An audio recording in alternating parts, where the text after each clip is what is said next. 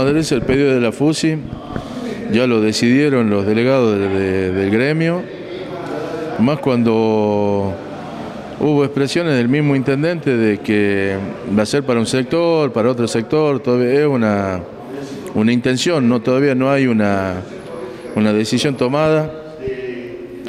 Y creemos que la mala intención de generar divisionismo dentro de los trabajadores municipales llevó a que digamos basta y solicitemos un nuevo incremento salarial. ¿Cuál era el pedido del SOEN específicamente? Y el pedido era el tema del bono, que hicimos cuatro notas que después se distorsionó porque el bono era un reconocimiento a los trabajadores porque trabajaron en el tema de la pandemia, no lo cumplieron nunca y aparte de no cumplirlo nunca, toda esta semana se dedicaron a querer generar división, ¿me entendés? Y, y los trabajadores no somos tontos, podemos ser buenos, pero no somos tontos. Es por eso que inician medidas de fuerza. ¿Qué tipo de medidas de fuerza comienzan? Un paro por tiempo indeterminado a partir del jueves 3, con movilización, junto con la FUS. Arevalo, y ahora eh, piden de nuevo un incremento salarial. ¿Está estipulado el monto?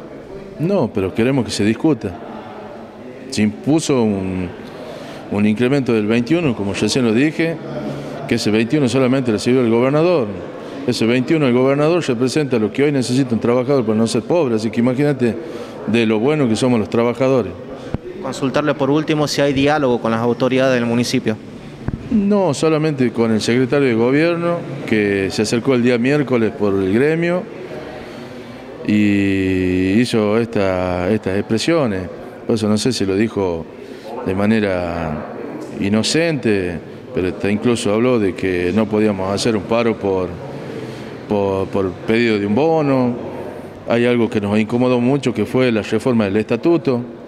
Nosotros estamos incluidos por carta orgánica y somos parte de la Comisión de Reforma del Estatuto y nos parece raro que los que se benefician no estén participando y que haya, que haya existido eh, reuniones entre concejales y Ejecutivo y el gremio no conozca cuáles son las intenciones. Si los trabajadores no saben cuáles son las intenciones, si viene de parte de la patronal, seguro que son malas, como fue la reforma del Estado que quiso llevar adelante el gobernador eh, eh, Jalil, que hoy se está discutiendo con gran madurez, eh, con muchos dirigentes sindicales, y así como marchamos, que gracias a la FUSI se paró esta reforma del Estado, creo que los gremios van a tener que salir a la calle a marchar pidiendo que ahora se apruebe, ¿no? porque sí hicieron muchas modificaciones que son interesantes y que son a favor del trabajador.